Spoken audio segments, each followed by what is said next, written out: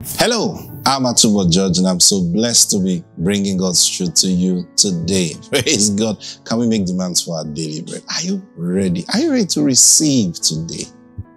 Join me right now and say, Father, I demand from you my daily bread.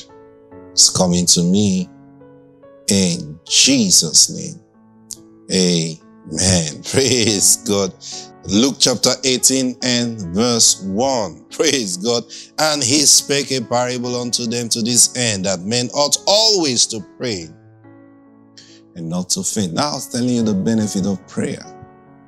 It begins to fine tune your mind.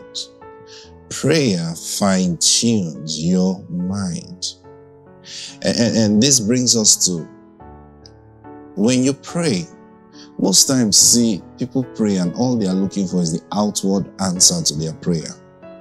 So, oh God, give me money. Oh God, give me money. Oh God, give me money. And then they are waiting to see an alert on their phone. They are waiting for a phone call. Oh, money has come. That's what they are waiting for.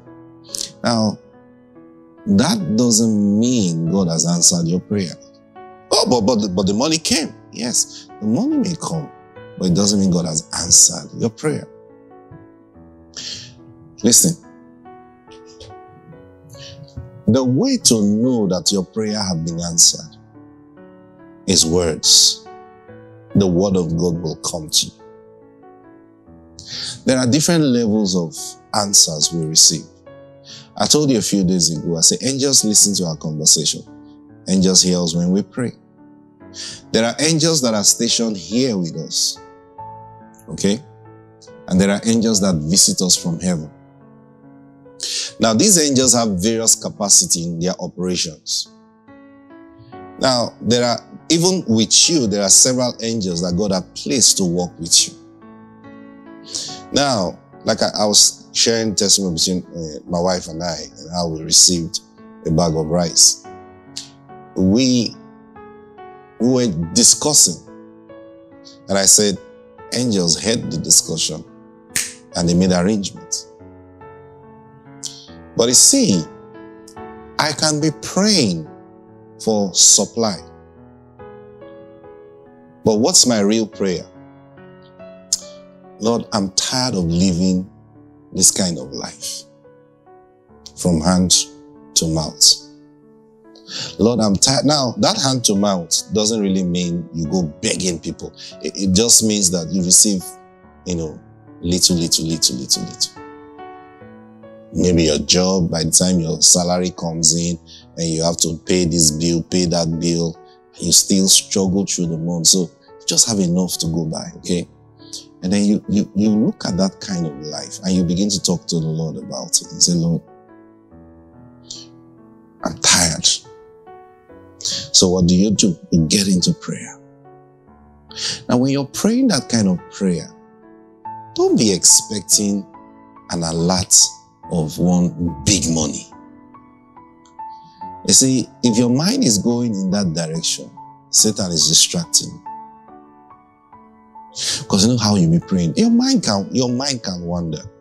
You're praying, ah, Ashak, oh God, just give you it might even be thinking, God, just give me one big job like that. I'll just swallow all my needs. No, that's not what you need. At least now, that's not what you need. No, Pastor, you don't understand. I mean, what else do I need? I'm earning this amount of money, and truly, with my qualification, I can actually get a job that will pay me in dollars or pay me in, pay me some good, good, good money. Pay me six figures, you know, and, and, and I'll be fine. If I'm earning six figures, come on, what is my what are my needs? Ah, uh, but I say what you don't know is the reason your pay increases, your needs will increase naturally. People who had thought a better job would solve the problem, they got the better job. And a few months down the line, they are looking for another better job. What happened to you? It's just normal. If your supply increases, your needs increase. You understand what I'm saying? Oh, yes. Let's say you're earning a hundred thousand every month. You will construct your needs to, to be around that amount of money. It will affect the kind of food you eat. Not because you don't have appetite for better things, but sometimes you're driving by a restaurant and you look at the restaurant like, whoa, I, I love this place. But then you remember that a plate of food there is 20,000. And then you go, nice, nice, nice, nice.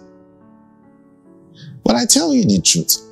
If you get to work tomorrow and they say, oh, look, um, we've decided to review your pay and now you'll be earning 500,000 every month, from 100,000 to 500,000. I believe the first day you receive that pay, you might, most likely, you stop by that restaurant. You see, now that's not what you would do when you were earning, I get what I'm saying. But now, you just be passing, say, hey, stop, eh, hey, hey, hey, I'm going in there. Why? Because you feel you can afford it now. But what you don't realize is it is all, all those things now are reducing your pay back to that same 100,000 level. Yes. You think you can afford it now. But what you don't realize is that at the end of the day, you're still the same person. So in a few months' time, you start asking yourself, what do I spend money on? But by then, you've gotten accustomed to this better life, like they say on the street, the soft life. You've become accustomed to it. As a guy, even where you cut your hair will change. Nah, nah, you see that place I used to go to. The guy used to charge me 200 nah, nah, let me go to that salon where they charge 2,000 or 5,000 just to cut your hair. Yes. The people you relate with will begin to change. Now people will, ah, no, what are you doing there? Ah, you don't know who you are. Somebody will just make that suggestion. And then soon you begin to look at your friends and begin to think that, ah, we're not on the same level, truly. We're not on the same level. And let me start rolling with the higher level of people. Rolling with the higher level of people will cost you more. Then soon you begin to think that this car I use does not befit. Uh-huh. All those things will now make you like, I'm tired, I'm tired. So you see, having a new job or having some big money come to you doesn't solve the problem. Now you begin to pray and pray and pray. What are you praying about? I'm helping you, I'm guiding you. You're praying about a change of personality. You, you, you're praying that God should graduate you from where you are to a better place. Okay? Now, praying and praying. That prayer is not one moment prayer. It's not, oh God. That's why I said, tune your mind. The prayer is to change you. It's not to cause money to enter into your account. The prayer is to change you. It's to change you. So you begin to pray.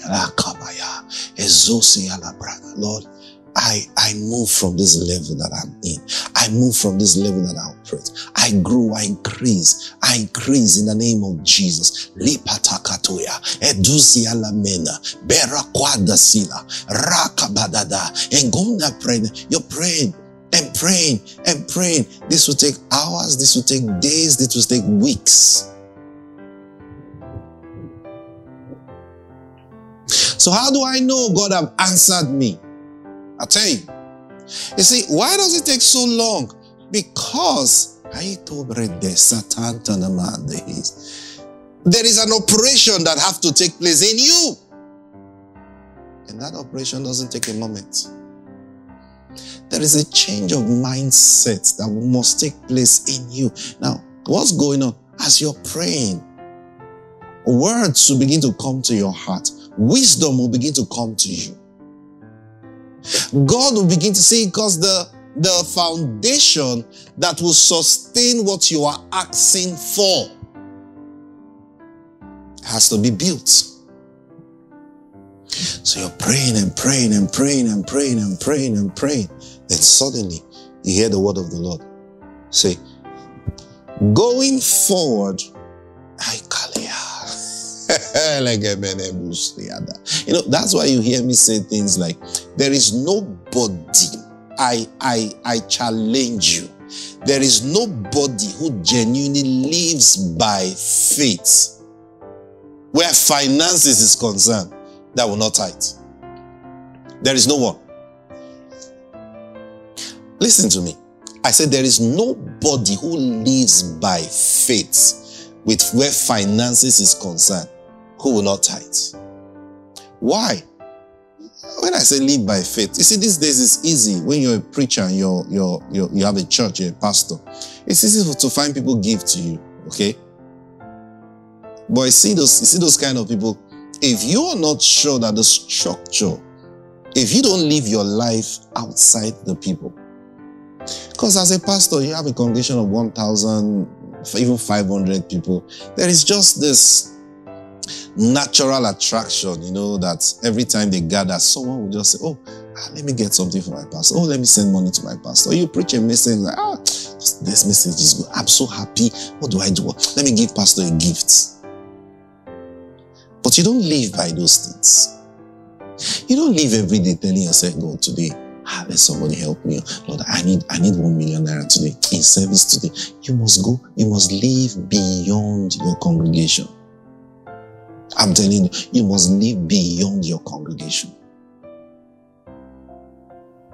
Because the limiting factor in that is this. A day will come where God may command you out of that congregation. Or a day will come, maybe in your old age, you will not be able to preach like you're preaching right now. And so you're detached from that congregation. Then you become stranded. And now you begin to find ways. That's not when you want to start finding ways. So I'm teaching how to build. Now, now you're praying and, and, and, and God speaks to you. I say, how do you know he has answered you? You will hear a command from the Lord in your place of prayer. You hear the Lord begin to say, from henceforth, every money you receive, the first thing you must do, and I said the first thing you must do is to take out the tithe from it. Now you go, eh, but I used to tithe. Now you now understand the command difference. The first thing you must do. Now, the word will just come to your heart. Like, oh, why is God telling me about this? Uh-huh. Yes, Lord. At first, you may not even understand. But the more you pray and pray and pray, and understanding will begin to come to you. You'll begin to see, oh, honor, honor. Yeah, God is actually teaching me how to honor Him. Oh, no wonder the Bible says, honor the Lord with your substance. I see. I've been tithing, but I've not been doing it in honor. Oh. Now, what's going on? The Lord is building the foundation that will. Praying and praying, and then the Lord speaks again. He'll begin to give instructions. He'll begin to give instructions. And you'll see that those instructions are not just a one-time instruction. It's not the kind of instruction that, that will say, go and sow this seed into so and so person's. No, that those kind of instructions come at the later end when, when he has finished with you. Then he will now give you one instruction that you will do now. I'm telling you the truth. Might tell empty your bank account and go and give to the son. Hmm. Okay, sir. Okay, Lord. And then you give. And when that happens, I'm using finances now. That's something everybody can relate with. Now, when you're done with that, what has happened to you? It has brought you to a new level. Guess what will happen to you? Easily without you pursuing it, without you requesting, without you praying, without you asking, things will just begin to come to you. Then you will notice.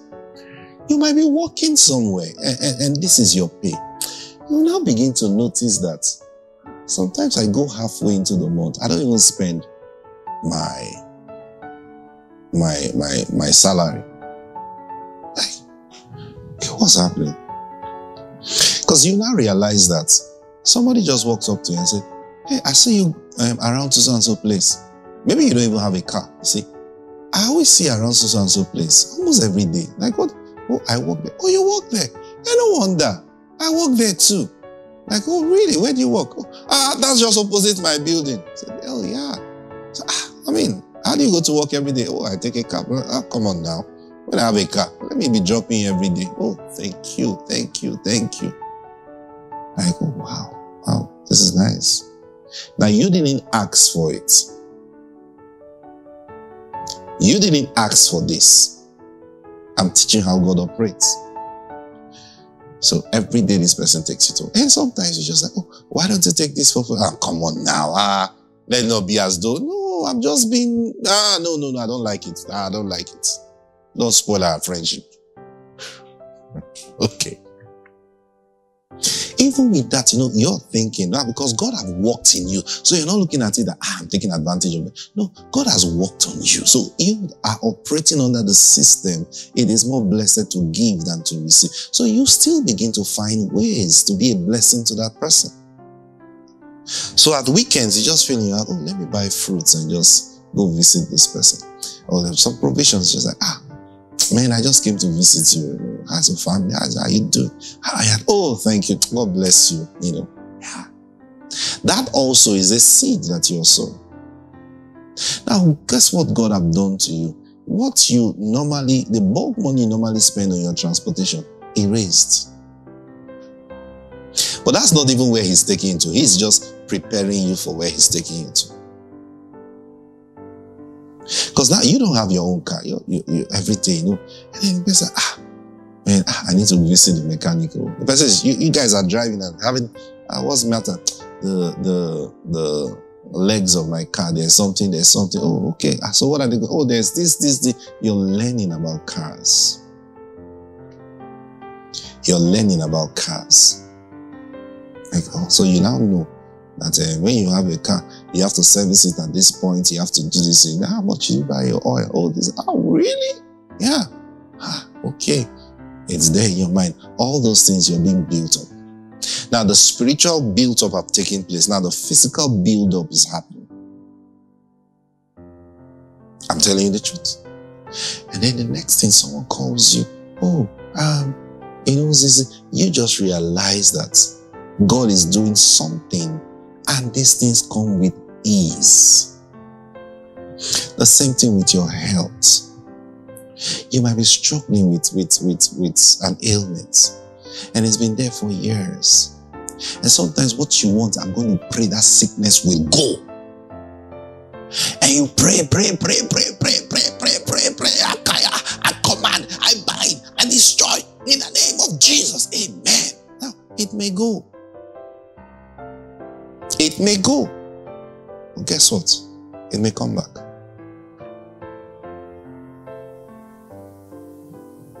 So what do you do? Lord, I'm not supposed to be suffering this.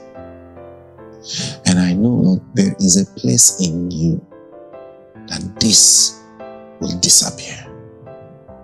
And then you begin to pray and pray and pray. Lakayo tobari. Breketala. You can take a whole period in your life. And you're praying and praying and praying and praying and praying.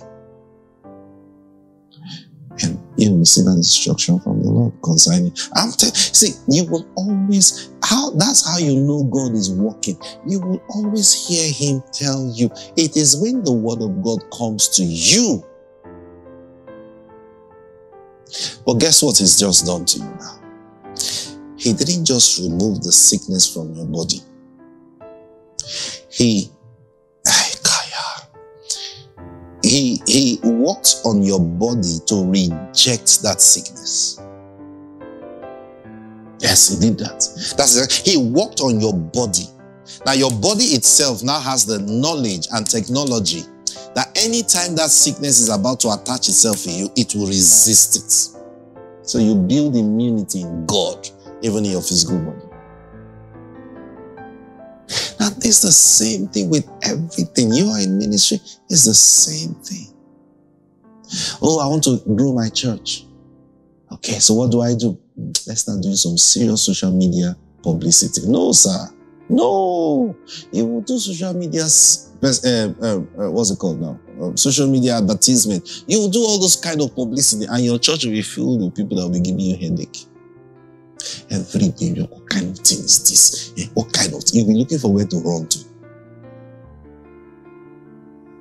What do you do? Father, we've been on this level for so long. I think we can move higher. Then you begin to pray and pray and pray and pray and pray and pray. Hear me. The first thing that must happen is that you be built up. So how do I know I've been built up? The instructions you begin to receive from the Lord. Those instructions are to weigh you. Okay? So God will teach you, teach you, teach you. Then He'll give you instruction. Begin to do this. You know, God can tell you, begin to wake up every 12 midnight and pray. Yes, sir. Ah, I will do it. You try it for one week. After one week, you forgot. There's a reason. You now realize for the past two weeks, you've not prayed. Hey, you know, God told me I should be praying every 12 midnight. Ah, oh, I'll start again. I'll start again. And then after three days, something happens. There's a phone call, like very important phone call around that 11.55. And then you continue that phone call until 1 p.m., 1 a.m. Very important phone call. The next day, activities, activities, activities. You know what that is proving? You are not ready. The situation just proved that you're not ready. See? But when, when you now practice and practice and practice, God says, be praying every 12 midnight. That's the instruction you receive. Be praying every 12 midnight. And you know that you get to that point that whatever you're doing, moment is 10. Lord, I have come.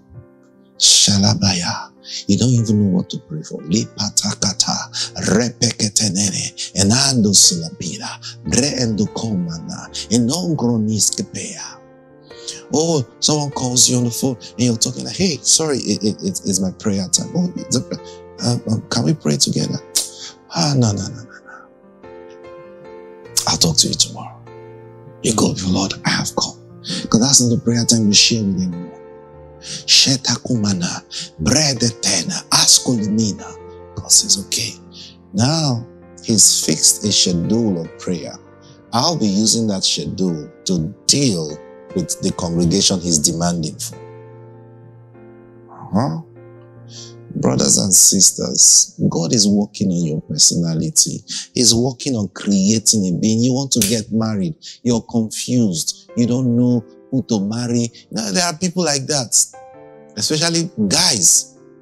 A few sisters get into that. You don't know who to marry. Can you build yourself first? No, Father, show me my husband. Oh, God, show me. No, no, no, Lord. This marriage matter. I want to get married. Sabiato paru, pantumre etevila, reketa papa. God will start. You will receive instructions. If those instructions are not coming, you are not prepared yet. My time is up. I'll see you tomorrow. Praise God. Thank you, Jesus. Thank you, Jesus. Thank you, Jesus.